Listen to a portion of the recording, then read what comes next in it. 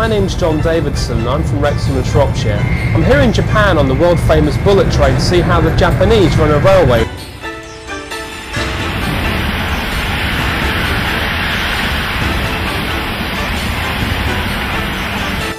Over the next few minutes, we're going to be looking at things like safety, ticketing and barriers, public information and onboard service to see how the Japanese do it and what we can learn from them.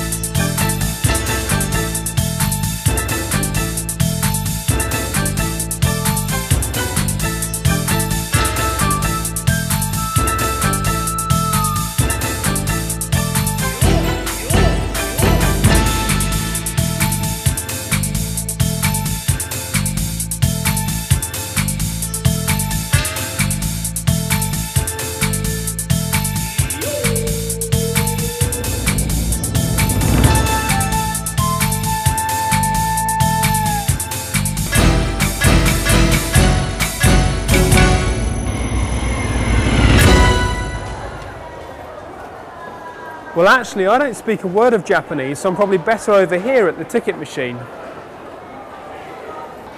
Well, I'm here at Shinjuku and I want to go to Roppongi, so I'm just going to go and buy a ticket now. I know the fare I want is 210 yen. I just press the English button, take my coins, put them into the machine at once, no need to count them out separately. Press 210, ticket comes out, job done. As you can see, the gates are continually open unless you try and go through without a ticket or with the wrong ticket, in which case the doors slam shut before you have a chance to run through.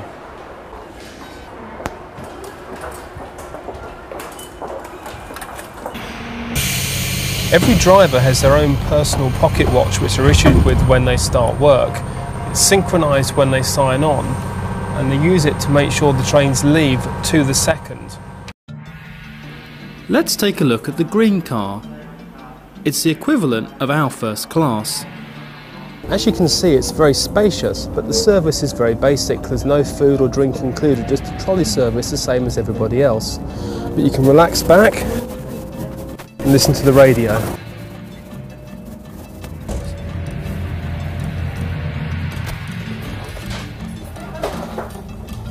Trains are very well equipped with big disabled toilets, powder rooms and baby changing facilities. One of the interesting things that you notice is that while you're on the train you have to have your mobile phone switched to silent. You can talk on it any way you like, but it has to be on silent. Japanese are also very into their recycling. Down here you can see for cans and bottles there's a separate bin on the train. They're also big into recycling on stations, with bins here for newspapers, cans, plastic bottles and other waste.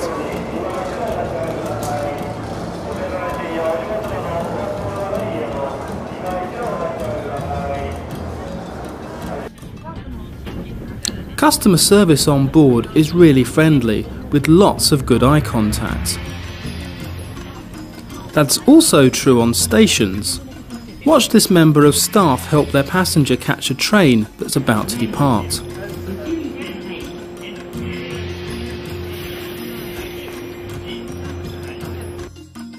These pink ladies can clean and turn around an entire bullet train in minutes.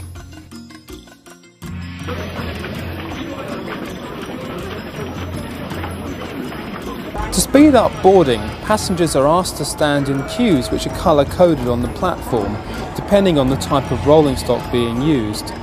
This saves seconds for dispatchers, something that we know is essential to running a right time railway.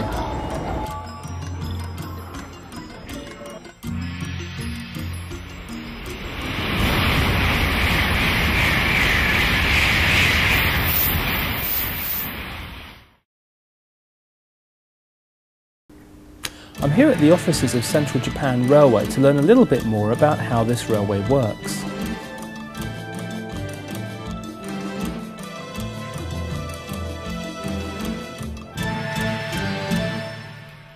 Um, could you talk through the process used by staff to dispatch trains? Uh, First, uh, the uh, signal has to be indicated. Uh, driver has to check it. Uh, Shinkansen signal indicator is installed internally in the cab. Second, uh, the door edge light uh, should be alight. Uh, it shows uh, that doors are closed. The driver has to check it. And third, uh, the driver must check the time.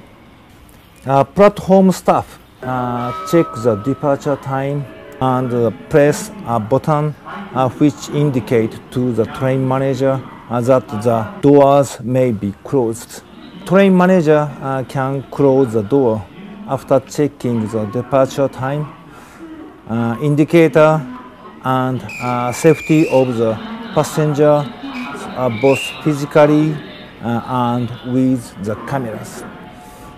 We not only physically check that passenger have safely boarded on the trains, uh, but also monitor uh, these uh, using the camera uh, located on the platform.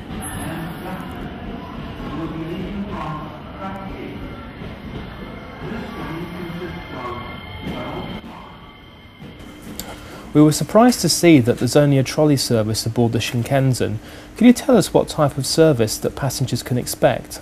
There used to be a restaurant service uh, in the Shinkansen train, uh, but it didn't uh, prove to be so profitable. Uh, so that uh, space is now uh, used as a first class uh, seat.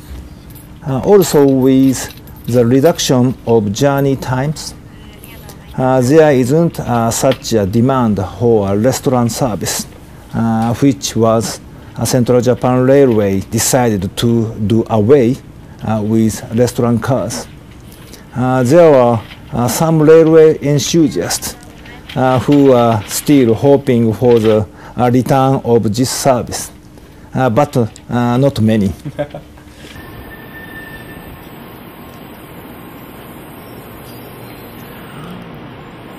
So now we're coming to the end of our trip in Japan.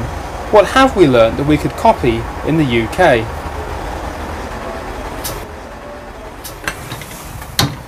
Well, let's not beat ourselves up. There are some things in the UK that we do rather well, and we should shout about them as much as we do about the Japanese. We have lots of original ideas and we're quick to implement them. Chiltern Railways was the first railway in the world to publicly launch a text ticketing system. Passengers scan their mobile phone to pass through the ticket gates. In Japan, onboard service, although delivered very well, is extremely basic. But here on Wrexham and Shropshire, you can enjoy silver service. Thank you.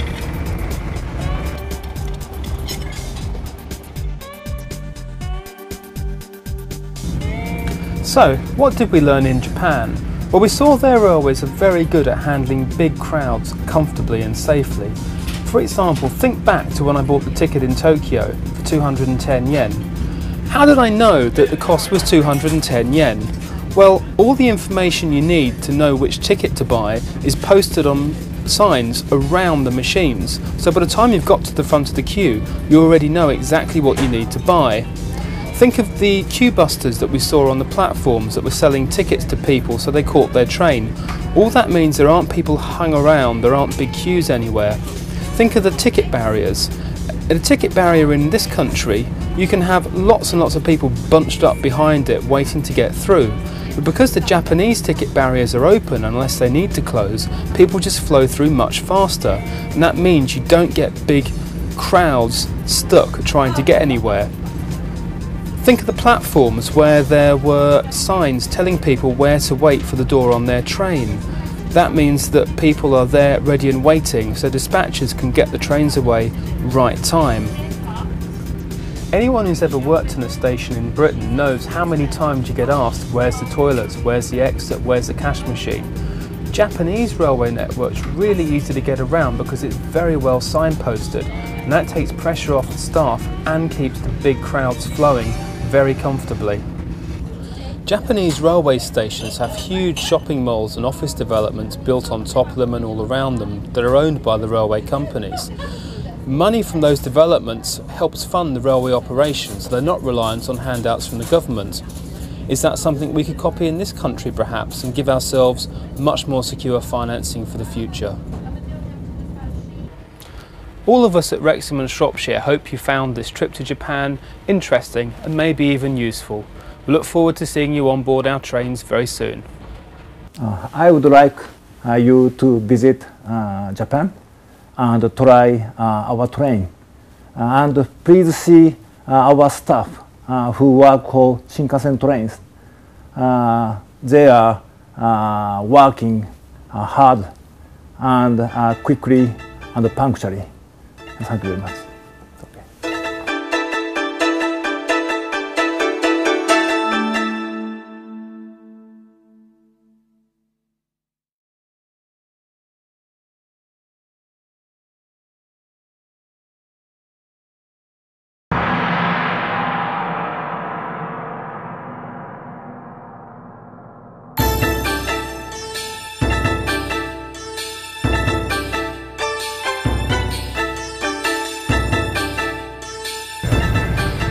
My name's John Davidson. I'm from Wrexham and Shropshire. I'm here in Japan on the world famous bullet train to see how the Japanese run a railway.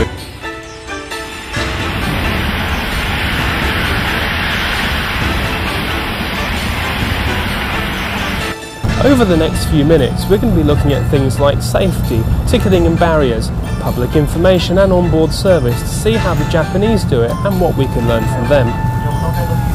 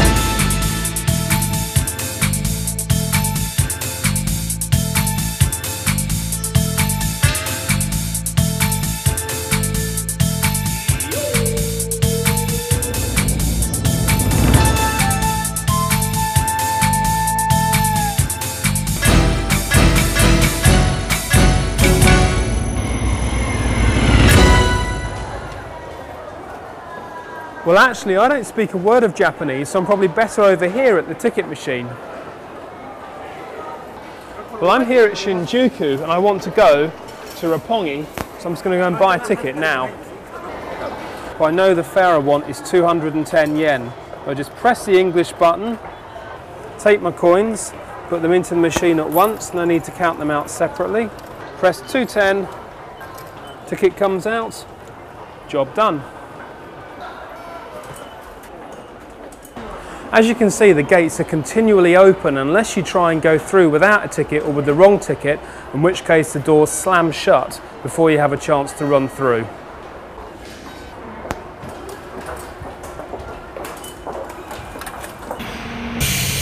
Every driver has their own personal pocket watch which are issued with when they start work. It's synchronised when they sign on and they use it to make sure the trains leave to the second. Let's take a look at the green car. It's the equivalent of our first class. As you can see, it's very spacious, but the service is very basic. There's no food or drink included, just a trolley service, the same as everybody else. But you can relax back and listen to the radio.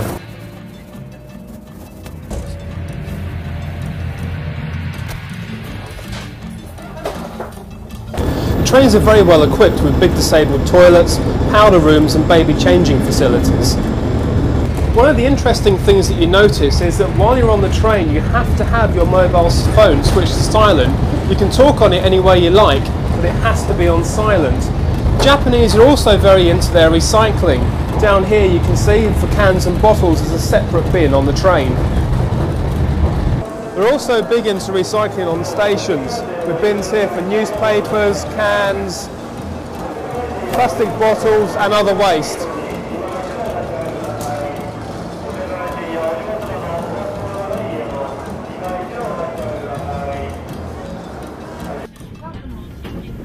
Customer service on board is really friendly, with lots of good eye contact. That's also true on stations. Watch this member of staff help their passenger catch a train that's about to depart.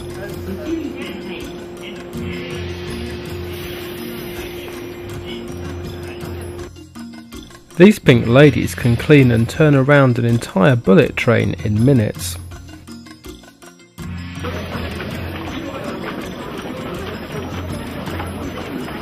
To speed up boarding, passengers are asked to stand in queues which are colour coded on the platform, depending on the type of rolling stock being used. This saves seconds for dispatchers, something that we know is essential to running a right time railway.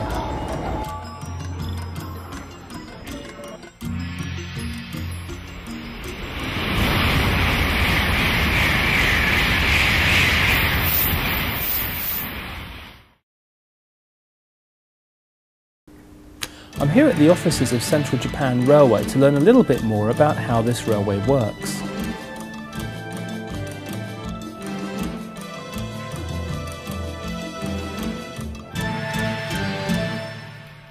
Um, could you talk through the process used by staff to dispatch trains? Uh, First, uh, the uh, signal has to be indicated. Uh, driver has to check it. Uh, Shinkansen signal indicator is installed internally in the cab. Uh, second, uh, the door edge light uh, should be alight. Uh, it shows uh, that doors are closed. The driver has to check it. And third, the driver must check the time. Platform staff check the departure time and press a button uh, which indicate to the train manager uh, that the doors may be closed. Train manager uh, can close the door after checking the departure time, uh, indicator, and uh, safety of the passenger uh, both physically and with the cameras. We not only physically check that passenger have safely boarded the trains, uh, but also monitor uh, these uh, using the camera uh, located on the platform.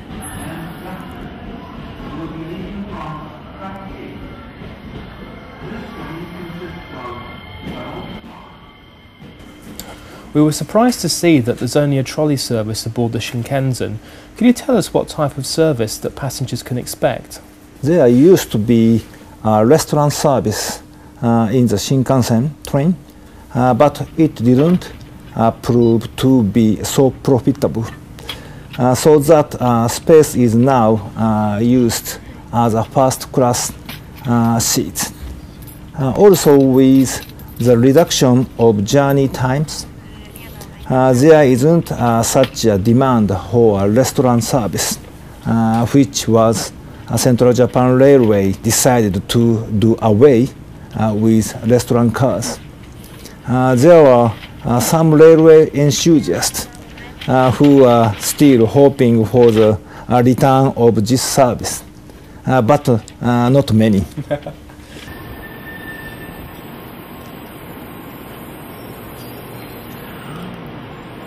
So now we're coming to the end of our trip in Japan.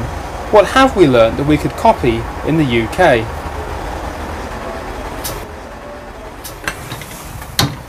Well, let's not beat ourselves up. There are some things in the UK that we do rather well, and we should shout about them as much as we do about the Japanese.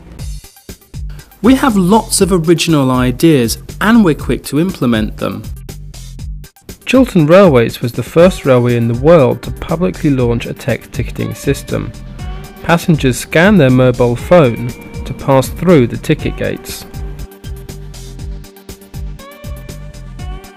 In Japan, onboard service, although delivered very well, is extremely basic. But here on Wrexham and Shropshire, you can enjoy silver service. Thank you.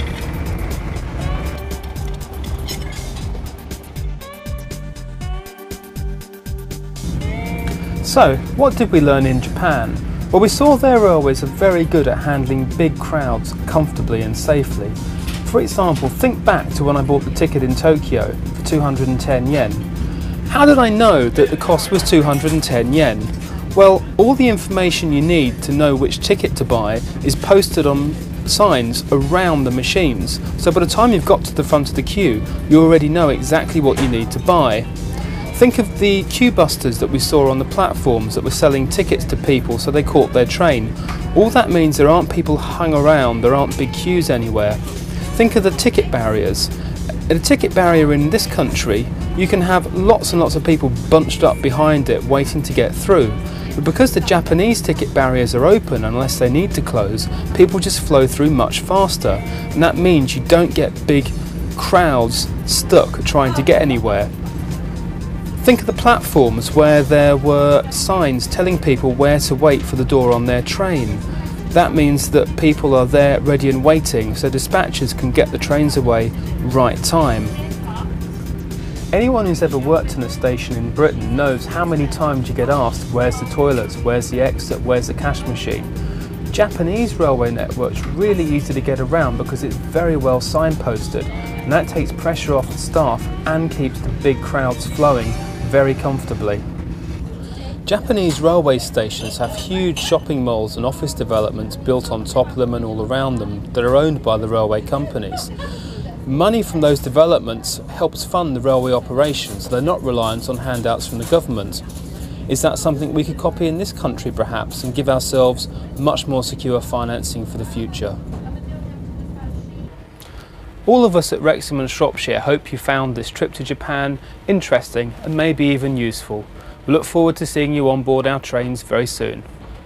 Uh, I would like uh, you to visit uh, Japan and try uh, our train. and please see uh, our staff uh, who work for Shinkansen trains. they are working hard and quickly and punctually. Thank you very much.